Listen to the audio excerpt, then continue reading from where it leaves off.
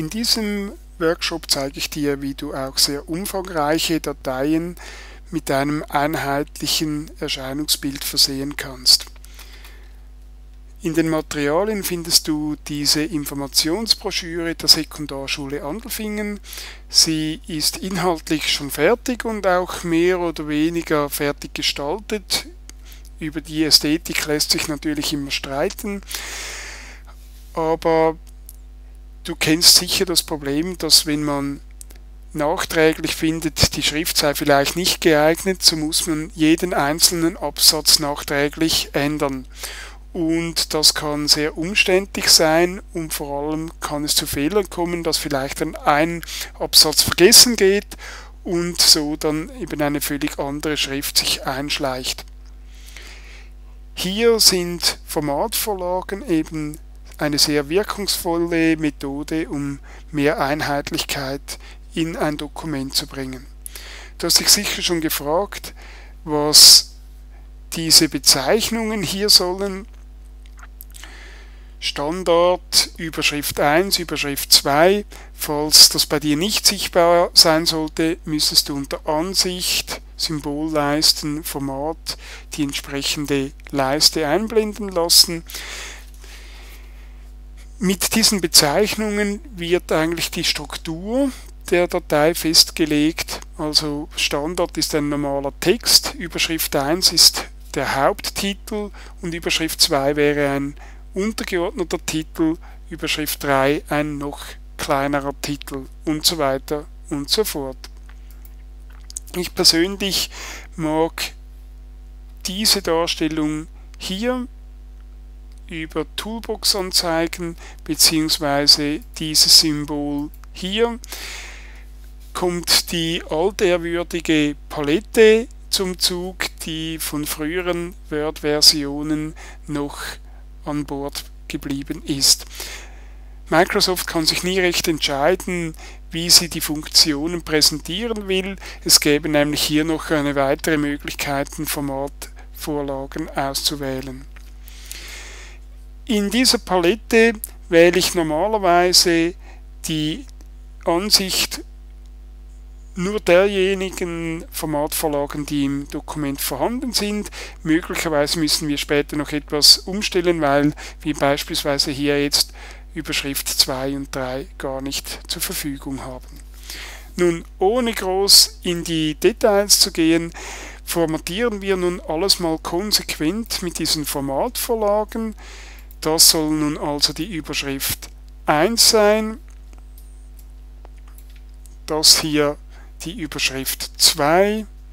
Das müssen wir nicht speziell formatieren, das ist Standard. Hingegen hier wieder Überschrift 2 und so weiter und so fort. Da lasse ich dich mal ein bisschen arbeiten. So, ich bin soweit.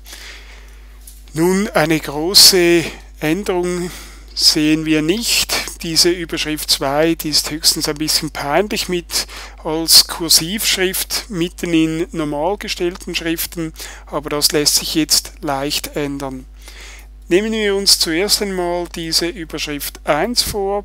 Das soll nicht die Calibri sein, sondern in meinem Fall jetzt die Helvetica Neue.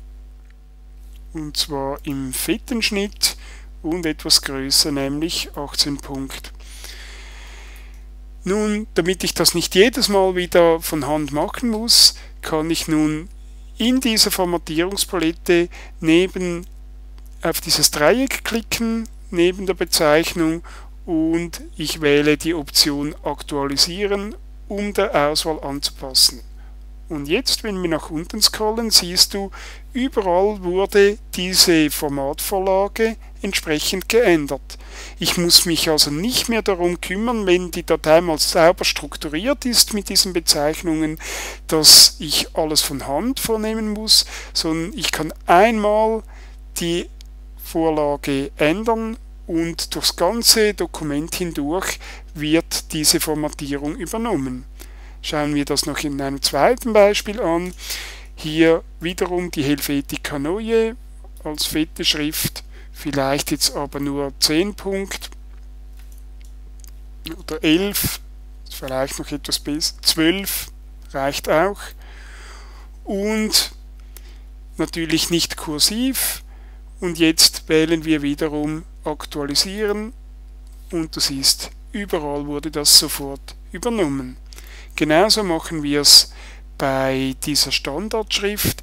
Hier machen wir einen leichten Einzug. Die erste Zeile soll leicht eingerückt werden. Vielleicht etwa so. Die Schrift soll wiederum Helvetica Neue sein, aber diesmal leicht. Und die Größe 10 Punkt, das reicht bei weitem. Dann vielleicht noch eine etwas luftigerer Zeilenabstand. Hier wähle ich mehrfach 1.4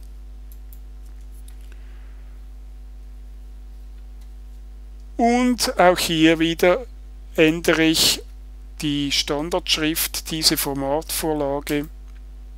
Und im ganzen Dokument wurde das angepasst und wirkt jetzt wesentlich eleganter.